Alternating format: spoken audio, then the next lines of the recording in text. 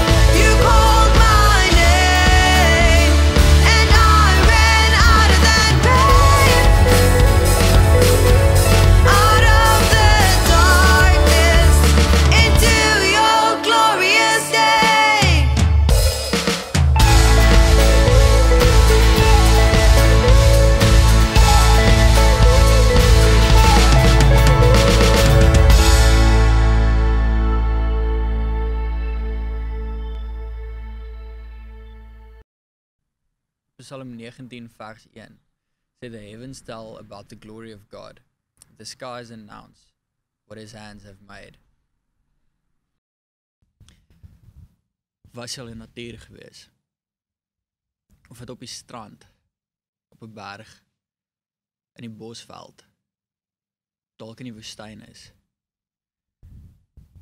Het jy al buite die stad in die aand net buite gaan lê en na die miljoene sterre gekyk? Ek dink almal van ons was al ten minste een keer of op in een van daai situasies gewees of op een van daai plekke gewees. En ek dink ook almal van ons het op 'n mate daar verskriklik klein gevoel. Neil Armstrong, hy was die eerste man op die maan gewees en toe hy gevra was oor hoe dit was om op op die maan te staan en terug te kyk en die hele aarde te kan sien, het hy die volgende geantwoord. It said it suddenly struck me that that tiny pea, pretty and blue, was the earth. I put up my thumb and shut one eye, and my thumb blotted out the planet Earth. I didn't feel like a giant. I felt very, very small. Nou het jy dalk al daar soos soos wat Neil Armstrong gevoel het. So verskriklik klein. Het het jy al so gevoel as jy iets massive sien? Of dit nou dalk 'n 'n huge bergreeks is waarna jy gaan stap het en dalk was dit jy net op die strand was en hierdie huge see gesien het. Sien ek was so 'n paar jaar terug was ek op 'n toer gewees wat ons op die Oranje rivier gaan roei het in Namibië. En daar was hierdie een spesifieke gedeelte gewees waar weerskante van die rivier is dit hierdie kraanse wat net gevoel het asof hulle nie wil eindig nie. Hulle was seker omtrent so 100 meter hoog. Maar dit is teen teen die einde van die of teen die kant van die rivier is is dit reguit op. So daar's nêrens 'n plek waar jy kan stop of enigiets nie. Dit's net hierdie dun stukkie water wat daar vloei met hierdie kraanse wat wat so hoog bo, bo jou uitstrek. Met en op daai oomblik sien ek net maar hoe klein is ek eintlik nie? En dit het my laat dink al hierdie goeie natuur wat ek wat vir my en jou partykeer so klein laat voel. Is dit nie eintlik daar sodat ons eerder kan sien hoe groot God is nie? Psalm 19 vers 1 sê the heavens tell about the glory of God. The skies announce what his hands have made. Jy sien toe ek op daai toer was, toe het hierdie eers vir my begin sin maak. Toe was daai vers vir my eers oopgebreek. En dit is asof daai kraanse wat daar om my was net net ewe skielik begin voel het asof dit dalk net tussen twee van die lyne van God se vingerafdrukke inpas. sien dit het vir my gevoel asof daai daai bergreeks, daai huge gedeelte, daai gedeelte oordoen. Jy sien toe ek op hierdie toer was, toe dit eers vir my begin sin maak. Dit het gevoel asof die kraanse wat om my was, God se vingerafdruk was. Dit het vir my begin voel dat hierdie wat so huge is en hierdie wat so massive is, net mooi tussen twee lyne op sy vingerafdruk pas. Sien ek het daar besef dat God nie eintlik nodig gehad het om sulke bergreekse te maak nie. Dit was nie nodig geweest om plante en blomme vir ons so mooi te maak nie. Dit was nie nodig geweest om elke aand vir ons die sterre as 'n kunswerk te gee nie.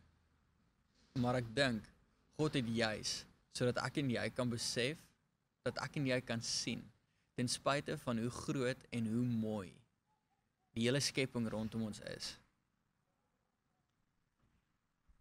dat ek nie net weer eens kan besef hoe amazing en hoe groot en hoe mooi die plan is wat hy vir my en vir jou het, wat hy sy kinders noem. Psalm 19 vers 1 sê the heavens tell about the glory of God. The skies announce what his hands have made. Is 'n aktuele challenge hierdie week om om bietjie tyd te vat en na na die skepping om ons om dit te gaan kyk. En terwyl jy na dit kyk, laat toe dat God weer bietjie met jou praat. Laat toe dat God jou inspireer. Dat jy net weer herinner kan wees van hoe groot, hoe mooi en net hoe amazing die plan is wat God vir jou lewe het. Dat jy net weer kan besef dat daai plan soveel groter, soveel mooier is as wat ek en jy kan sien, dink, droom of imagine. Hemelvader, dankie vir vir die voorreg wat ons het om te kan weet ons is u kinders. En Heer, dankie vir dit wat wat u gemaak het.